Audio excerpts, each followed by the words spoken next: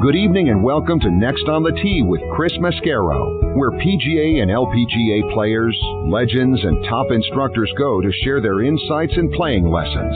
Join Chris every Tuesday night at 8 p.m. Eastern Time as he talks with the greats of the game. Tonight's show is sponsored by the French Lick Resort, Ben Hogan Golf, the PGA Tour Superstore, the Salt Creek Golf Retreat, TaylorMade Golf, the Bobby Jones Apparel Company, and Super Speed Golf. Now here's your host, Chris Mascaro.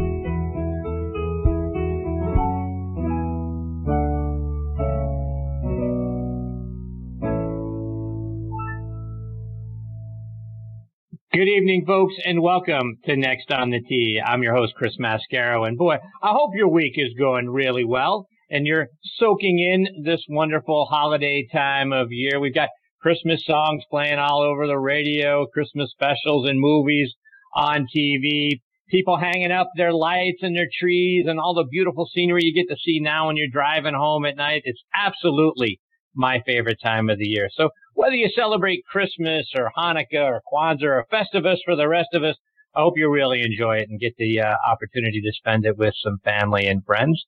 Tonight here on the show, we get to spend the next hour with two amazing individuals. My first guest is going to be LPGA pro Natalie Sheary. Natalie was a fantastic player in college at Wake Forest. She won the ACC Women's Championship back in 2009. She won the 2016 WB Mason Championship out on the Symetra Tour. And this past year, she had three top 10 finishes out on that tour. So we're going to talk about all of that. We'll talk about life out on the Symetra Tour and the nearly 30,000 miles that Natalie drives every year in her car going from tournament to tournament. So what's the grind like? What's it like to be out there on the tour? So, sort of the non-glamorous stuff that we don't really get to see and uh, they have to deal with and put up with and get through, but then, you know, also play really good golf and, and uh, live and glamorous on the Symetra Tour, folks. I know Natalie's got some things that she does in the off season to try to raise money for going back out on the tour the next year. So we'll talk about all of that. And, and she's a wonderfully positive individual. Go check out her Twitter page at Nat Sheary, S-H E A R Y, Nat Sheary, out on Twitter. Wonderful stuff. So we'll talk about all of those things, her goals for 2019, and, and a lot more when she joins me here in just a few minutes. Following her, I'll be joined by former president of the PGA of America, Paul Levy. Paul's two year term as president just finished up. Last month, he was named an honorary president of the PGA. Paul played his college golf at LSU back in the early 1980s, along with our friend Bob Friend Jr. We'll talk about that. We'll talk about some of the things facing the PGA in 2019, like moving the PGA Championship to May. We'll hear how they decide which venues to award the PGA and Senior PGA and that Senior LPGA and the LPGA championships to. We'll talk about some of the fun things he's gotten to do that maybe a young Paul Levy never would have dreamed he would have had the opportunity to do. Plus, on the opposite side, what were some of the things that came along with being president of the PGA that weren't really in the job description? So a lot to get into with Paul when he joins me a little bit later on in this half hour. So a lot more great stories and information coming your way tonight on this edition of Next on the Tee. Thank you so much for tuning in and taking the journey with me tonight. But before we get started, like we always do, I'd like to remind you about our good friend Mitch Lawrence and his podcast, Talking Golf Getaways. And his co-host Darren Bunch, they let you know about great places to stay, play, and even eat and drink while you're there. Again, their show is called Talking Golf Getaways, and you can stream it on golfnewsnet.com or over on Audio Boom or pretty much anywhere you can consume podcasts. His twin brother Matthew also has a great show called Backspin Golf, which is on hiatus for a couple of months, which you guys know is driving me nuts. Matthew's show typically airs on ESPN Radio AM 1300 up in Lexington, Kentucky on Sunday mornings from 8 to 9 a.m. Eastern Time. But I encourage you to still go online to WLXG.com to check out their archive shows as a podcast because really, the show is just fantastic, and so is Matthew. Again, the, the show is called Backspin Golf, and you can stream this season's shows as a podcast online at WLXG.com or on the WLXG app. And folks, as you know, we are sponsored by the French Lick Resort. Let's hear a word from Steve Rondinero about what they've got going on up there. Play legendary golf at French Lick Resort, the only place in the country where you can play courses by two Hall of Fame designers on the same property. Our Pete Dye and Donald Ross courses offer two very different challenges. Experience them both and save with our Hall of Fame package. Our two historic hotels are unique as well. Cap it off with a fun visit to the French Lick Casino. Check us out online at FrenchLick.com. Bring a group and save even more. Play legendary golf this season at French Lick Resort. Yeah, folks, be sure to go online to FrenchLick.com to see for, see for yourself what a wonderful place they've got up there. And it is so beautiful this time of year with all the Christmas lights and decorations. They just had the Christmas tree lighting ceremony this past weekend up there.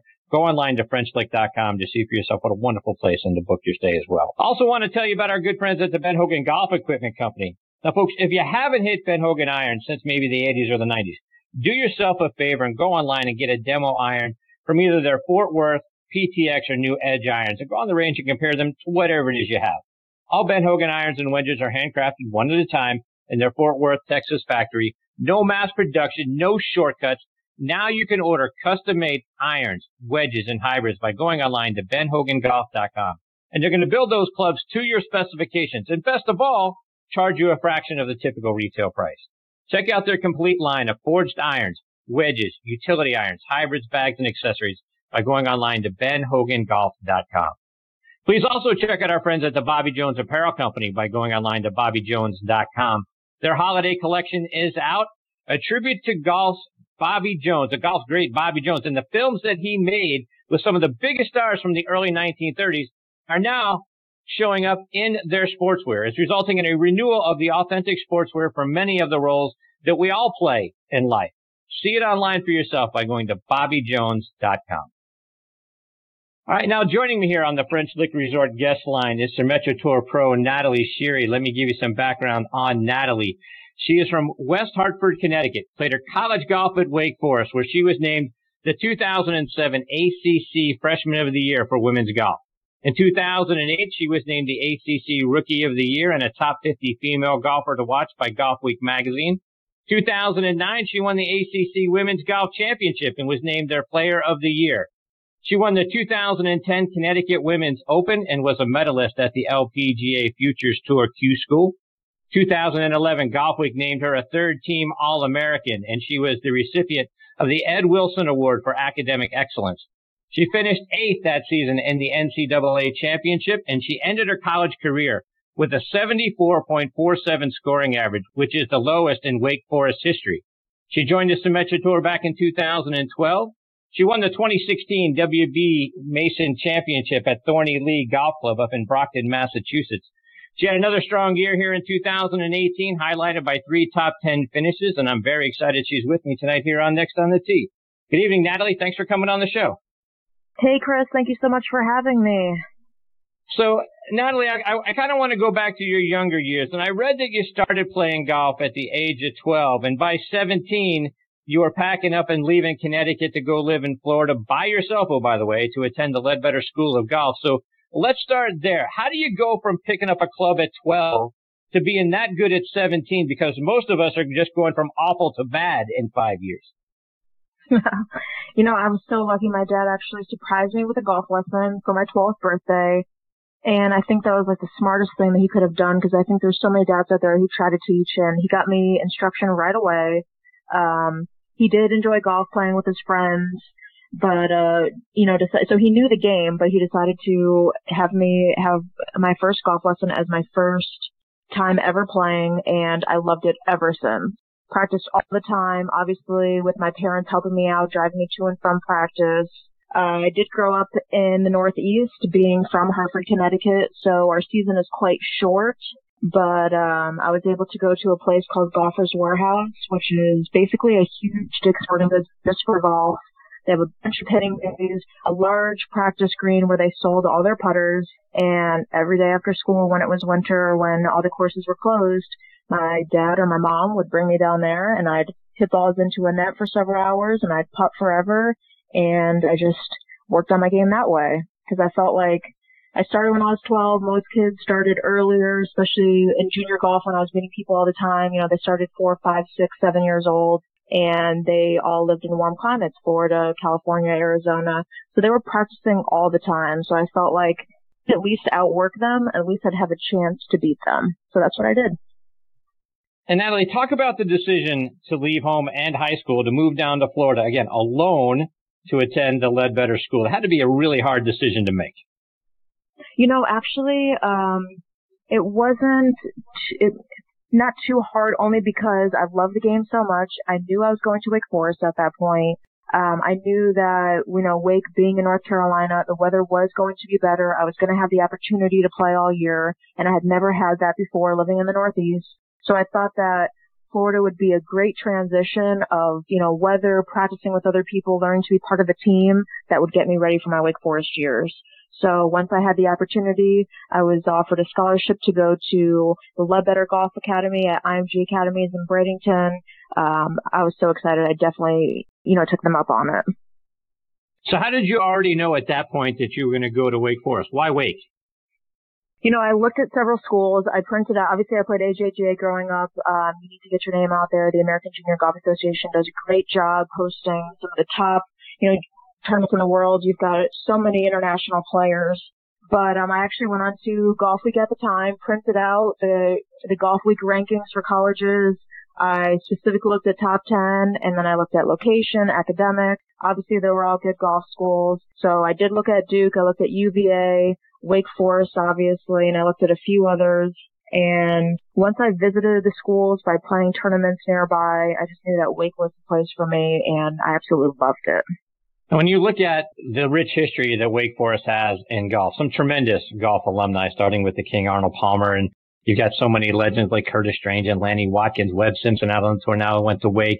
You list could go on and on and on. Laura Diaz on the women's side. So did any of those you know guys or gals come back and spend some time with you guys to give you an opportunity to not only pick their brains but uh, maybe share a tip or two or share their experiences from transitioning from college golf out onto the pro tour Sure. You know, actually, my freshman year, Webb Simpson was still there. He was a senior, so I got to see him practice all the time, which was really cool. And at, I mean, at that point, he was, you know, the top college player.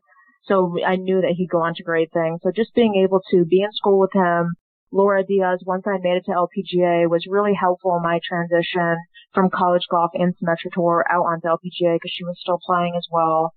To be able to go to Wake Forest and single teammate that I had for the four years, so we got like 10, 15, 20, you know, girls, every single one of them turned professional. So all of us were practicing hard. All of us had dreams to play after college. So it was really great that once I graduated, the girls who I had played golf with were also out on tour. So there was a lot of love and support happening out there as well from them. And one of your teammates while you're there was Cheyenne Woods, right? Cheyenne was was there for three out of my four years. She is one year younger than I am. Yes. So what was it like getting to team with her? It was really, really cool. Obviously, she won ACC's one year, just having so much notoriety with her there. She loved the school as well, just to see her practice and see how much she enjoyed being there, even though she did get opportunities. You know, growing up, obviously being associated with Tiger, being a family member, you know, she didn't have to stay in school for four years. She had opportunities. She had sponsors exemptions to go play. It would have been easy for her to leave, but she chose to stay. And I think that that's, you know, speaks a lot about her and how much she values school in Wake Forest and how much she had a great time. So, you know, she really couldn't be a better person. Um, it was great, great three years that I got to spend with her as a teammate. So now when I look at the, the ladies college golf rankings, you got Wake still in the top 15. So how much do you still keep track of how well they're doing and where they are? Yes, you know, we, I have been keeping track. Um, obviously I had Coach Dailey. Um, she was there for 30 years. She just retired this past spring, um, after one of our players, um, won the NCAA championship. Um, you know, individually. And actually the UVA coach who was there when I was playing at Wake Forest, she actually transitioned. She's the Wake Forest coach now. So there's been a few changes with the program, but they're still playing really well, still a very strong schedule. So I have been keeping track, of course. It's always go Deacs. Indeed. So Natalie, you're you're out on the Symetra Tour for a few years, and then you break through at the 2016 WB Mason Championship. You get your first win, not all that far from home. So, what was that win like for you? You know, that was super cool because my dad on back. So to have him by my side and to have my mom watching and to have some, you know, really close friends and neighbors be able to come up because it was only about an hour and a half from the house, uh, was something truly special. I mean, that was an awesome day. And looking back at this season out on the tour, you had three top ten finishes. So give us give us kind of a report card. How do you feel about the state of your game and the results you were able to get this past season? Yeah, you know, I've been ball. My ball striking has been so solid. I actually finished 2017 and 2018 as the number one in greens and regulation and driving accuracy. Um, so obviously I know that my, my long game is strong and I have to thank, you know, my coach Andy O'Brien out of, uh, Windermere, Florida. I switched to him just a few years ago and we've made some, some awesome changes that obviously are, are showing out there. But I mean, on any level, you know what it is. It's all about making putts and I actually spend most of my time on putting. My weakest point stat wise, so that's always something that I'm trying to grind at. Obviously, I need to make more putts. So Natalie, looking ahead to, to 2019, do you have specific goals that you set for yourself? I always have fitness. I, I always have goals. I always have nutrition goals. Always have fitness goals. I think that you can always feel better, look better, perform better. Um, and you know, I've really tried to listen to my body and just make sure that it has what it needs in order to do everything that I want it to do. Obviously, we have a long season. There's a lot of a lot of things involved, whether it's playing six, seven weeks in a row or driving several hours from event to event. You know, you just need to make sure that you're taking care of your body so that it takes care of you. But um, as far as you know, my game, my coach and I have some things that we're working on in my swing just to kind of tighten a few things up. I don't think that we're far off. But again, it's all about putting right now. So now talk about your daily routine. What's it like now? As as you were mentioning a little bit ago, here we are, we're getting into, you know, the winter season. Talk about what daily life and daily routine is like for you right now. Sure. In order to work with my coach, I have a strength trainer in town. So um, in my last few years, I've went back to IMG Academies to train during the winter. And then I bounced around a little bit in Florida until I went to Orlando. And I've spent last three and a half seasons in Orlando because of Andy O'Brien, my swing coach in Windermere. And then I also have my strength coach. Um, his name is TA, and he has a great gym centrally located in Orlando that I see. I try to go at least five times a week. But um, between practice, working out, and I also work at actually as a caddy. Um, I work at the Ritz Carlton and I work at Bay Hill, which is an Arnold Palmer golf course. Wow. But, um, it, you know, my days are super, super, super busy. So, and that's the way that I like it. I like to use my 24 hours as much as I can, as productive as I can. So, um, even though I had to relocate down here, obviously, just to get out of the cold weather so that I can keep practicing, um, I feel like I'm using my time pretty wisely down here. Wow. So getting to caddy at Bay Hill, talk about what that's like. And do you get the opportunity then at the end of the day or the different times when you're not uh, on schedule to go out and play? Yeah, you know, I have not played there yet just because they've been, they've been so busy, which is great to see. Uh, I think, you know, we have a ton of people who want to play before the guys come in for the Arnold Palmer, uh, Invitational, the API. But like tomorrow's schedule, I am doing a double bag loop at 7.50, so I need to be there at 6.50. I will probably finish around noon because at all, or at Bay Hill, they want you to play in about four, four hours and 10 minutes. And then I'll drive just a few miles down the road to Grande Vista and Marriott practice facility and I'll practice there pretty much from 12.30 till dark. And wow. then try to get a workout in right after that. So, Natalie, take that a step further. Talk about life on the Symetra Tour. I saw on your Twitter page where you're logging about 29,000 miles a year in your car. Yeah. So, are, yeah. you know, talk about the grind of the traveling and all of that sort of thing. You know, then you got the practice and, and then the tournaments and the pro-ams and life isn't always as glamorous as we probably picture that it is out on tour. Right. I think people most think that we take our, you know, private planes, we stay at the you know, four star hotels and we get, you know, shuttles everywhere or the courtesy cars and, you know, maybe some LPGA players get that, but not all and definitely not the Metro Tour players. Um, actually, when I leave Orlando about mid-March, I don't return until October. So everything that I need from March until October needs to come with me. And obviously we play all over the U.S. We have all different kind of, you know, weather conditions, hot, cold, whatever, all the extra golf balls, gloves, extra clubs, shoes, everything needs to go with me. So all of our cars are extremely packed. They're like our little U-Haul trucks. So when people say that tour players live out of their cars, like that's exactly what it is. And every single week is totally structured. Monday is usually a travel day. Um, Tuesday is a free for all practice with a Meet the Pros party every Tuesday. And those are for girls who are in the Pro-Am to kind of go and meet the sponsors, thank everybody for putting on the event.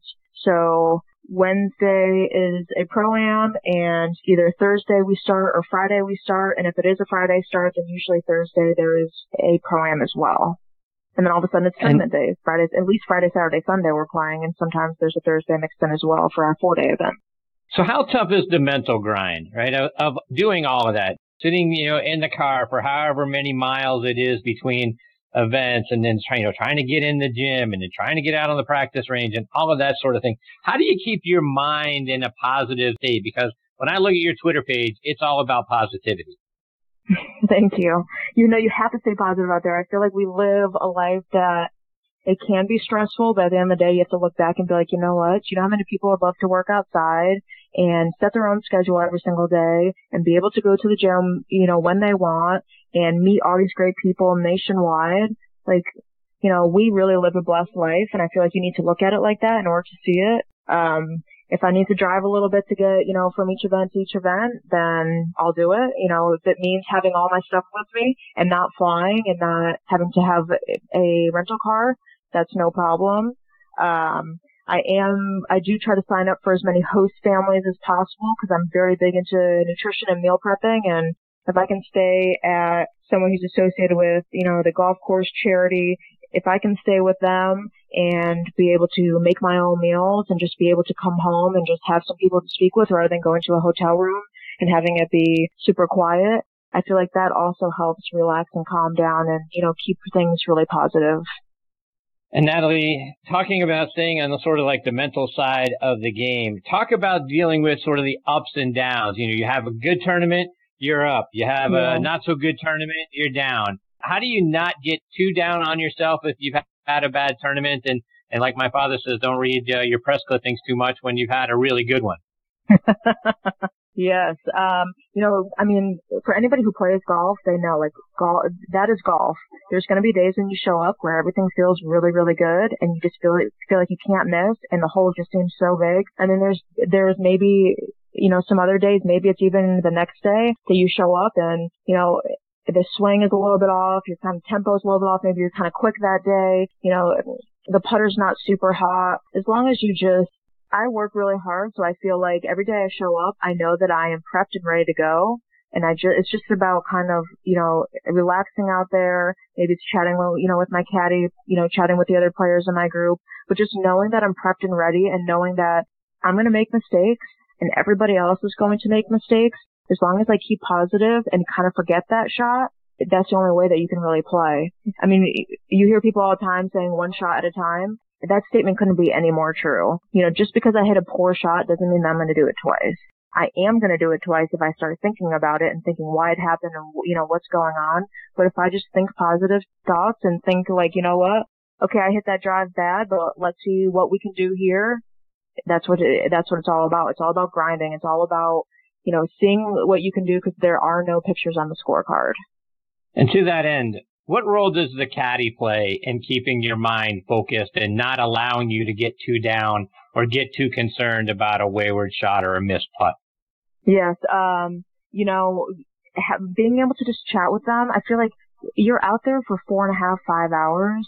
You can't focus that whole time. You, you know, no one can. You have to just focus when you hit that shot. And then while you're walking up the fairway or walking to the green, you have to be able to shut that off real quick. Maybe just you know, have a quick, you know, conversation with your buddies. For me, it would be my caddy or the other players in my group, like I had mentioned, just to like relax and unwind and then get ready for, you know, for the next shot. If, if you're tense walking down on the fairway, worrying about whether your ball creeped into the rough or worried about what kind of lie you have in the bunker, I mean, that's no way to play. It's just, you know, it's way too stressful.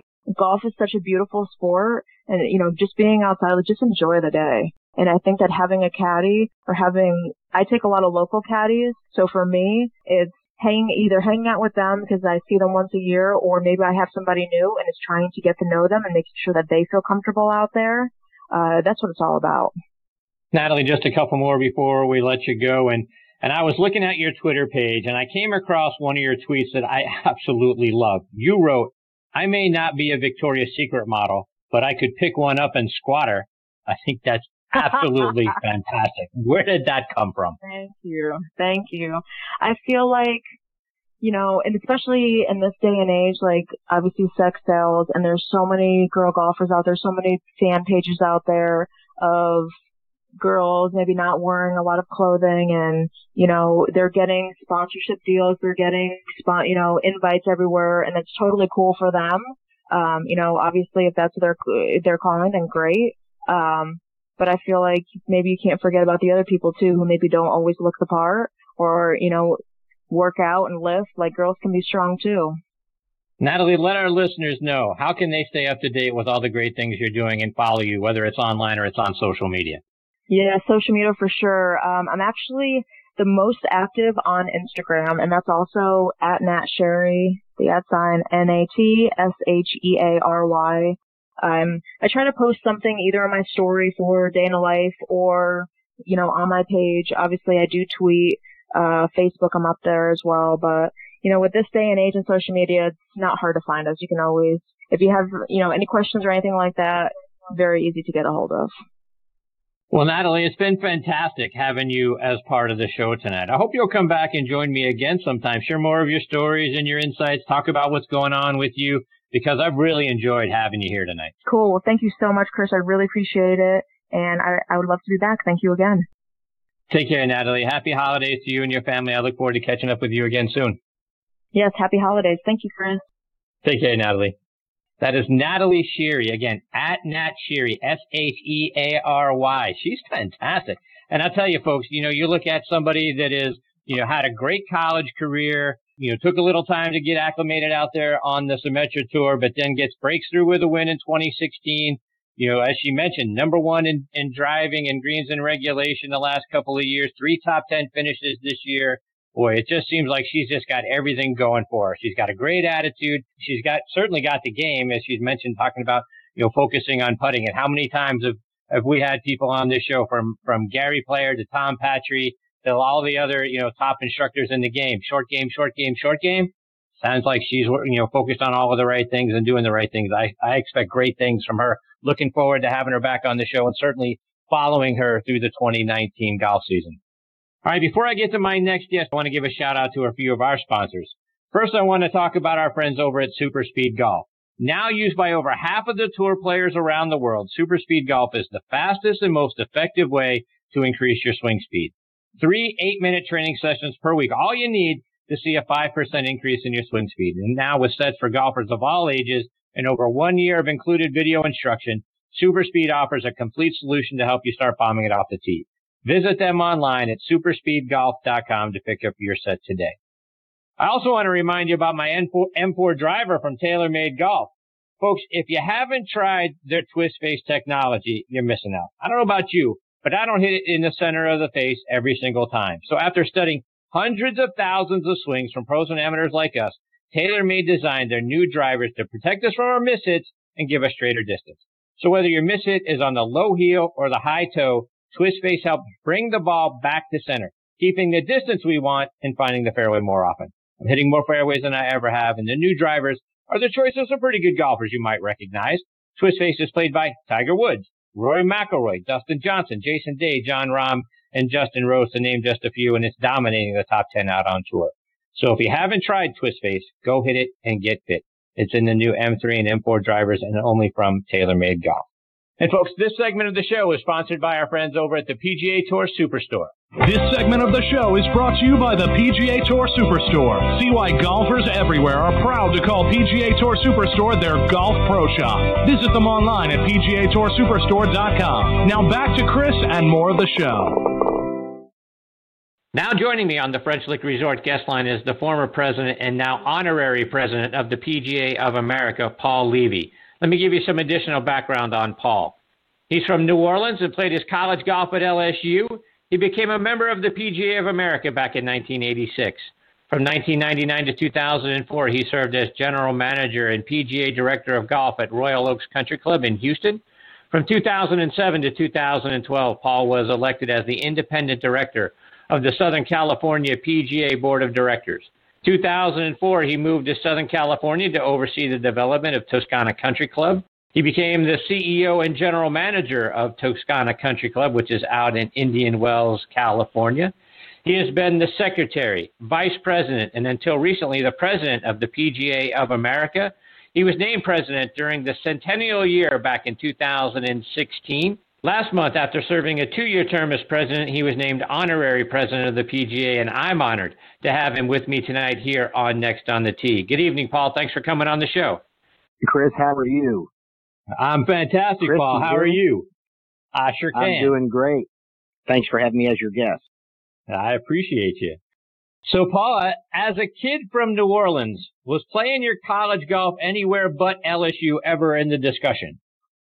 Well, you know, if you grow up in Louisiana, LSU has a pretty strong, uh, strong running in the blood of Louisiana people. And I actually had a scholarship to a junior college in Texas and then had a chance to go to a couple other schools, but I really missed being back in Louisiana where everyone I knew was. And so got to go back to LSU and then graduated.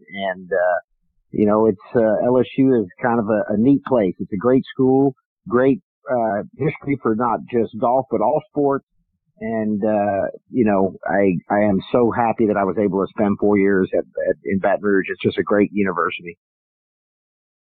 So we'll talk about your time playing golf there at LSU. Our good friend Bob Friend Jr. was also there in the early 1980s. So what do you remember about being a part of the team and being there in that, at that time? Well, Bob was a really good player. He was uh, my fifth year coming in as a freshman. He came in with Emlyn Aubrey, who also uh, was from the Pennsylvania area. And Emlyn played the tour for a while, and then now I think Emlyn's a, a club professional in Shreveport. You know, I was on the team, uh, wasn't one of the top three or four guys on the team. It was a great experience just being a part of the team and playing golf. We had some unbelievable players. My first two years, our captain was Wayne DeFrancesco, who was a first team All-American. And the second year we had John Salamone, who was a second team All-American. And, uh, you know, it's, it's kind of cool because when Smiley Kaufman got married back in April, his dad Jeff was on the team with me and a bunch of us when I was there. And we had a little reunion at Smiley's wedding of about seven or eight of us that were all there. Gosh, you go back 1980, 81, 82. So a lot of fun, a lot of great friendships. So I was I was curious, Paul, as I was looking over your LinkedIn page, you've got your interest. One of your interests is the University of Minnesota, which is a long way from LSU. Why Minnesota? Well, I don't know why that's there. I know the PGA just updated my LinkedIn page. I better check that out. I don't know why they have that. Uh, you know, they, they sent me an update and I looked over and missed that. Uh, I'm not too crazy about the Minnesota Vikings when they're playing LSU. That's interesting. But, uh, and of course this No year I'm pulling for my Saints pretty hard. I'm a diehard Saints fan, so I'm pulling for my Saints pretty hard this year. So, Paul, skipping ahead But- to your sort of ascension up the ladder at the uh, PGA of America, as I mentioned in your intro, you were secretary, then you became vice president, and ultimately a two-year term as the president. But not only being the president, but being named so during this centennial year had to be a huge compliment for you. Well, it's a it's a great honor. You know, when you get elected to office, you go through the chairs, two years as secretary, two as vice president, and two as president. And as timing and fate would have it, you know, I was fortunate to be able to do that. Derek Sprague, who was the president before me, uh, served as president for most of that year, and then I went in in November. And you know, and it was a historic year for us, not just from a standpoint of a hundred years, but you know, you look back and for the PGA of America, we've been trying to grow the game and uh, help people just enjoy this great game for a long time. And as you know, our thousands of golf pros out there in the field, that's what they do every day. They don't, uh, you know, it's not the most glamorous job some people would think. Uh, you know, you're at a club and you're there early, you're there late, you're teaching golf, you're running golf facilities. You're helping people enjoy the game. A lot of our professionals now are in management and, uh, you know, uh, it's hard to believe that we're now embarking, uh, next year on the 103rd year of the PGA of America. And Paul, I have to imagine that you've gotten to do some pretty cool things. What are some of those things you look back on and think, you know what, that was pretty cool? You know, we, as an officer, you get to do a lot of great, neat things, things you'd never dream of, like being a part of the official Ryder Cup party, which I've been able to do three times. And, and when we created the Ryder Cup task force, I was a member of that task force. Very neat. uh, you know, handing out the PGA championship trophy at PGA championships. And those are all things that you'll remember the rest of your life. But the, the most rewarding thing for me was being able to make a difference in the lives of our golf professionals. And, you know, you look at the PGA of America, we're kind of a dual, how do I put it, dual parts of our association. We've got we run championships. We run two of the five biggest championships in the world, the PGA Championship and the Ryder Cup. We also run the KPMG Women's uh, PGA Championship and the uh, KitchenAid Senior PGA Championship. Uh, not to mention our national championships for our club professionals and of course the Ryder Cup. But other than that, we also are an association and our mission is to grow the game and serve our members. And so how do we take those resources and how do we take the assets we have that I just talked about, major championship golf, and how do we use those to, to grow the game and benefit our members? And uh, for me, that's been the most rewarding thing, I think, is the initiatives that we've been able to forge ahead on in the last two years and growing the game in education uh, and employment opportunities for our professionals and helping them improve their employment, uh, helping our PGA professionals uh, know how to state their value better to their employers so they can be better compensated. Uh, and then also today, I don't know if you saw the announcement, but uh, the PGA of America announced today something we've been working on for almost two years. Uh, probably something I'll look back and we'll look back and say, wow, that was maybe the most uh, significant thing we did. We are going to be relocating the headquarters of the PGA to Frisco, Texas. The press releases just went out today, and uh, we're really excited about that. So talk about that. First of all, what led to to moving it, period, and then why Frisco, Texas? You know, it was just a great opportunity that we had. Um, about two, gosh, three years ago, our board, we we asked the staff to do an analysis of what cities out there, what uh, areas of the country might be interested in having the PGA and basically did RFPs and had uh, a major corporation that specializes in this type of business help us uh, analyze the RFPs we had. And as we came down to it, uh, we had several opportunities, but the opportunity in Frisco or staying in West Palm Beach seemed to be the, the top two choices. And the city of Frisco uh, is a very unique area. I don't know how well you know it, but uh, you look at Frisco, Texas. It's uh, they've got almost every major sports franchise. It's a, a gateway to the northern part of Dallas. Uh, you know, you've got the Dallas Star right there, which is uh, an unbelievable uh, complex. You also have the um, opportunity we're going to have to build two championship golf courses, and host future Ryder Cup or PG and PGA championships, not to mention KPMG women's PGA championships and also uh, senior uh, KitchenAid senior PGA championship. So uh, we just think it's a great opportunity. Uh, it's a growing environment. There are many Fortune 500 companies that have moved to the Frisco area, but more importantly, we had a a, a city, uh, an area, uh, some developers that really wanted to partner with us, whose um, their goals and what they believe in, what they think is important, really matched uh, what we do. So that was really the the key to it. You know, we have a lot of side benefits in that our education center, our world class education center, will be there and will now be in the center part of the country, featuring state of the art classrooms and teaching facilities. But uh, when you put it all together, we think it's a great opportunity for the PGA, and we're really excited about it. And Paul, we talked a moment ago about, you know, some of the cool things that you've gotten a, an opportunity to do.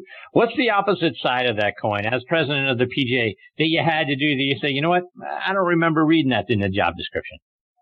You know, there's a lot of things that we deal with as an officer and board of directors, but that's like life. You know, I think, uh, you know, what's the old saying? Uh, life is what 97% about what you do with what comes your way. You don't always control what you deal with. And, uh, you know, we always try to focus on what's best for our members and what's best for the game. And how do we make those tough decisions to, to, to benefit our mission? Our mission is very simple. Grow the game and enhance opportunity for our members. And that's what we always focused on.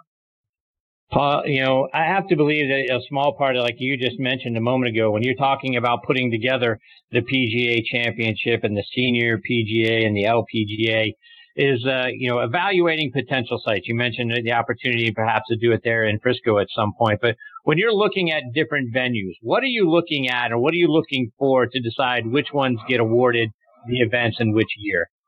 Well, you know, first of all, we have someone named Kerry Haigh, who's our chief championship officer. I'm sure you've heard of Kerry. He's been yep. with us since uh, the early 90s and I think is easily seen as uh, the most talented in what he does in the game of golf. You know, uh, Kerry puts on our major championships and he scouts out locations. Uh, obviously you have opportunities where facilities, clubs will come knocking on our door asking if we're interested. You know, and Kerry goes out in the field and makes sure, you know, today you got to look at the footprint of a facility. You look at a place like Hazeltine where the Ryder Cup was in 2016 and we announced that we're going to be going back to Hazeltine, as you know, uh, later part of the next right. decade in the late 20s. I think it's, uh, 28 we're going back. But the point being, the reason that Hazeltine was so good, it had such a big footprint for all the hospitality, for all of the corporate tents and the corporate sponsors. So that's all part of it that fits into where a facility should be. Also, we look for, first of all, we look for a great golf course. If you look at the PGA championship golf courses that we've selected for the last 10 or 15 years and you go out in the future, we have some PGAs that are selected all the way into the early 30s. They're great golf courses, iconic golf courses, Oak Hill Country Club in New York, the Olympic Club we got to announce. I was able to do that under my presidency that we're going to the Olympic Club for a Ryder Cup and the PGA championship. Uh, you know, you look at Aronimink, um, you know, you look at Quail Hollow where it was last year. These are great golf facilities with great communities and strong leadership in those towns and at those clubs to help us put on one of the, you know, most exciting, best, uh, largest championships in the world, the PGA Championship. And Paul, as you look out into 2019 and even further into the future, what are some of the issues that you still think are facing the PGA and the other governing bodies that uh, we still need to get some work on and need to address? Well, the main thing we need to do is we got to grow the game. That's the number one charge, I think, for us, and that's the thing that we're focused on. We are looking to make sure that we continue to provide the resources for our professionals. We've got to think out of the box. I mean, you look at a top golf. What an unbelievable story. I can remember running for office in 2010. Top Golf was just getting started. Uh, you know, you look today, they're a company that has grown the game in a very unusual way. I mean, 18 million visitors to Top Golf last year. Anytime someone puts a golf club in their hand, it's a good thing. I was at a Top Golf actually in Las Vegas two days ago with my wife and some friends, and it's it's it's a it's a different crowd. So how do we grow the game? How do we make it more fun? I think that's the key buzzword. How do we engage the public more? How do we connect with our consumers? Those are all important things. Paul, just a couple more before we let you go and talk about the decision to move the PGA Championship back from August to May. Are you excited to see it getting played earlier in the year and then obviously being at Bethpage, Bethpage Black this coming year? Well, first of all, being at Bethpage Black, what a great golf course with a unbelievable history of championship golf. Um, we're very excited. That was a decision that really we studied for over three years before we made the announcement in August of 16 at Quail Hollow. Uh, Pete Bevacqua, who was our CEO at that time for about six years, uh, he and his team brought to the board of directors on several occasions studies that looked at what golf courses we could still go to, uh, how would it affect TV ratings, uh, what the viability would be of moving it, how it would relate to the rest of the world. And even though there were a lot of articles written at the time tying it to the PGA Tour wanting to move the playoffs, the FedEx playoffs up early to avoid the football season, we we were charged to do what's in the best interest of the PGA of America and our 29,000 members who own the PGA. And you know, one of the really exciting parts of it is we get to promote what our professionals do every day much earlier in the season. Now, I, I live in an area where the season is November to May, kind of like South Florida. But 85 or 90% of the country, we know the golf season is April, May to October.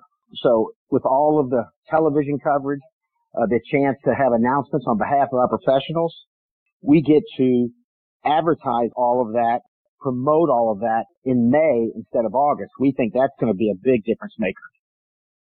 Well, Paul, before we let you go, now your alma mater and mine are squaring off in the Fiesta Bowl on New Year's Day, LSU and UCF. What are you expecting out of the game? Well, you know, that's going to be a great game. I think UCF has not gotten the respect it should get the last few years. If you remember last year, they did pretty good in the bowl game. And and I've already, yeah. like any good fan, have, have uh, gone on the web and look at what everyone's saying about UCF and LSU, and a lot of people are picking LSU. I would not take that school lightly. I mean, for a team that is, what are they, undefeated the last 24 games, 25 games? That's, that's I don't correct. care who you play. That's an amazing, that's an amazing statistic. It was a disappointing year for my Tigers. I think the most disappointing loss was I was sitting at my house, uh, my granddaughters were over with my wife and I was outside so I could smoke a nice little cigar and watch LSU lose in seven overtimes to A&M. That was a pretty, uh, pretty interesting game if you saw it. Lasted five hours. Yes. We had a few, we had a few calls that Coach O didn't, didn't complain about, but it was an interesting outcome. Right. Agreed. So, Paul, let our listeners know how. What's the best way to stay up to date with what you're doing and what the PGA of America is doing, whether it's online or it's on social media? Well, I think the best thing with the PGA of America always, you know, uh, if you go to PGA.com, you can see a lot of what's going on in the PGA of America. Also, we have a Twitter page, and I, I'd be remiss to tell you exactly what that is, but if you Google it, you can find it pretty easy. Our president, Suzy Whaley, you know, we have a new president as of four weeks ago, and she's unbelievable. I know you've heard of Susie, and yes. uh, she's going to be a great PGA president, really strong in promoting the game, you know, really uh, fits in well with where we're trying to go with this association.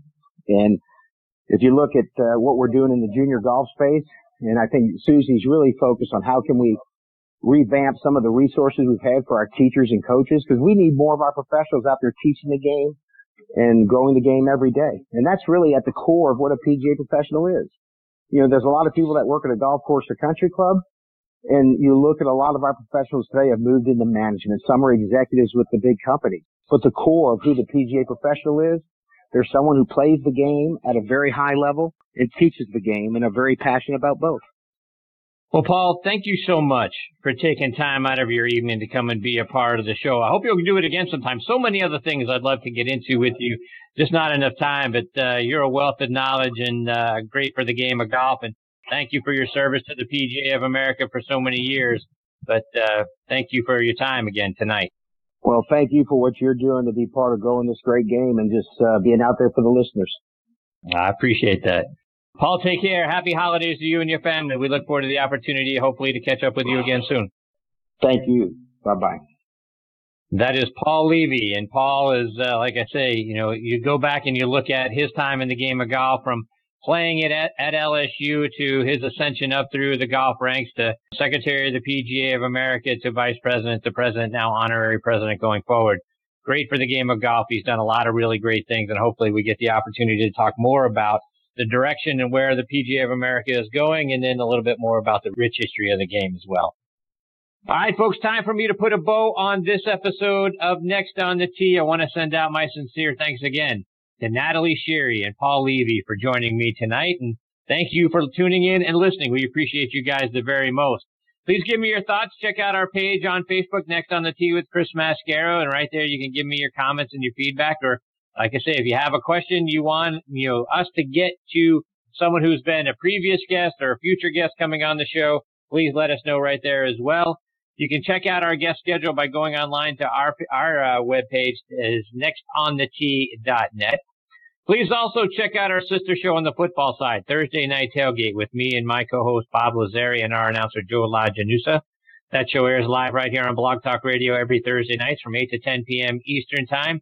And that show, like this one, also available as a featured free podcast over on iHeartRadio and on Podbean. On Thursday Night Tailgate, we're joined every week by five NFL legends who come on and share stories from their playing days and give us their insights into what's going on around the league. Spotlight on the positive segment. That show, you can find out more information online at ThursdayNightTailgate.com. And again, this show, nextonthetee.net. Folks, thank you again for choosing to listen to the show tonight. We really appreciate the fact that you are making Next on the Tee part of your golf content. Until next week, hit 'em straight, my friends.